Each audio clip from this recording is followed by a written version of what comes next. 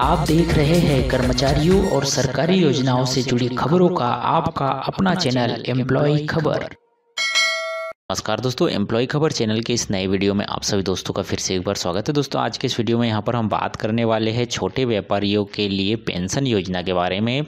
भारत सरकार श्रम एवं रोज़गार मंत्रालय की तरफ़ से यहाँ पर लोकसभा में इस योजना के बारे में विस्तृत जानकारी दी गई है। श्री संतोष कुमार गंगरवार जी के द्वारा यहाँ पर प्रश्न संख्या तैतीस, उनासी डबल थ्री सेवन नाइन के तहत श्री विजय कुमार जी के कुछ सवालों के जवाब देते हुए यहाँ पर श्रम मंत्री की तरफ़ से छोटे व्यापारियों के लिए जो पेंशन योजना लागू की गई है, उसके बारे में विस्तार से यहाँ पर जानकारी दी गई है। तो यहाँ पर प्रश्न पूछे गए थे कि सरकार द्वारा छोटे व्यापारियों के लिए नई पेंशन योजना के अंतर्गत पात्रता एवं मापदंड क्या है? क्या सरकार एक राष्ट्रीय व्यापारी कल्याण बोर्ड स्थापित करना चाहती है ताकि छोटे किसानों को समस्याओं का समाधान किया जा सके? देश में अब तक एनपीएस के अंतर्गत शामिल किए गए, छोटे अंतर्गत शामिल किए गए, छोटे व्यापारियों की संख्या कितनी है और उनका जो है राज्यवार ब्यौरा क्या है? सरकार द्वारा सभी छोटे व्यापारियों को एक अब तक के जो लाभान्वित किए जाने की संभावना है, कब तक उनको जो है लाभान्वित किया जा सकता है? इस तरह के सवाल यहाँ पर जो छोटे व्यापारियों के लिए पेंशन योजना जारी की गई है, उसको लेकर यहाँ पर पूछे गए थे। उस पर श्रम एवं रोज़गार मंत्री श्री स्वतंत्र प्रभार संतोष कुमार गंगरवार जी द्वारा जवाब दिए गए हैं कि 18 वर्ष की आयु से लगभग थ्री पॉइंट ज़ीरो व्यापारियों, अब यहाँ पर जो है लाख करोड़ क्या था, वो यहाँ पर जो है प्रदर्शित नहीं किया गया है। दुकानदारों और स्वयं, स्वनियोजित जो व्यक्तियों को वृद्धावस्था संरक्षण प्रदान करने के लिए दिनांक 12 नौ 2019 को व्यापारियों, दुकानदारों और स्वनियोजित व्यक्तियों, जिसका इस योजना का नाम यहाँ पर रखा गया है, प्रधानमंत्री लघु व्यापारी मानधन योजना। राष्ट्रीय पेंशन योजना जो एक एनपीएस होकर के होती है, उसका शुभारंभ किया गया है। यह स्वैच्छिक और अंशदायी पेंशन स्कीम है। इस स्कीम में देश भर के फैले थ्री पॉइंट फाइव लाख जो सामान्य सेवा जो सी एस सी सेंटर होते हैं, उनका नेटवर्क के माध्यम से यहाँ पर नामांकन किया जाता है तथा इसके अलावा पात्र व्यक्तियों का नामांकन W W W dot Maandhan dot in के पोर्टल पर जाकर भी इसके माध्यम से भी किया जा सकता है।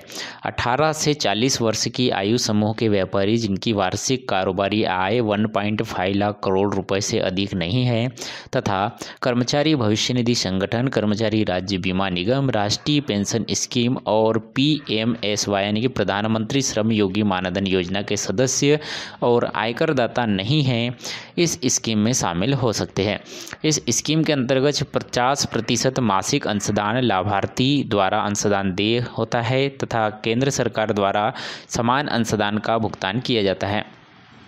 अभिदाता 60 वर्ष की आयु पूरी होने पर तीन हज़ार रुपये की न्यूनतम सुनिश्चित मासिक पेंशन के पात्र बन जाते हैं वाहन के पात्र बन जाते हैं।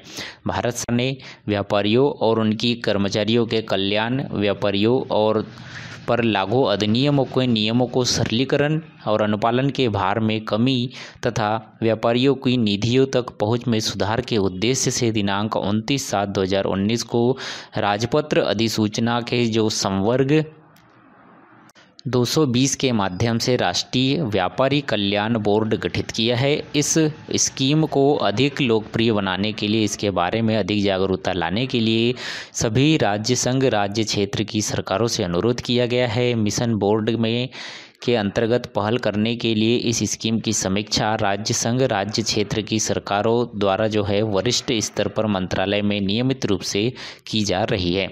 तो इस तरह से जो यह लघु व्यापारी मानधन पेंशन योजना है। इसमें जो है 18 से 40 वर्ष की आयु व्यक्ति की होनी चाहिए। अभी जो है तकरीबन तीन लाख व्यापारियों को इसका जो है लाभ यहाँ पर मिल चुका है।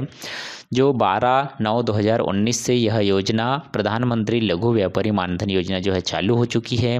इसके लिए आप जो है सीएससी सेंटर, भारत के किसी भी सीएससी सेंटर और डब्ल्यू मानधन डॉट इन से जाकर जो है अपना रजिस्ट्रेशन करा सकते हैं।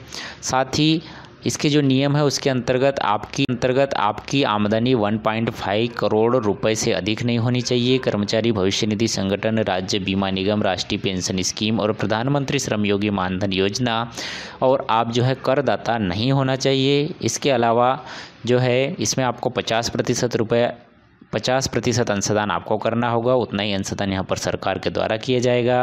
और जब आपकी उम्र साठ वर्ष की हो जाएगी, तब आपको तीन हज़ार रुपये प्रति महीने न्यूनतम पेंशन यहाँ पर सुनिश्चित की जाएगी।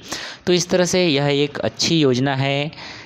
छोटे व्यापारियों के लिए वो मानधन पेंशन योजना जो कि छोटे व्यापारियों के लिए यहाँ पर जारी की गई है। तो छोटे व्यापारी लोग जो है, इससे काफ़ी यहाँ पर लाभ उठा सकते हैं।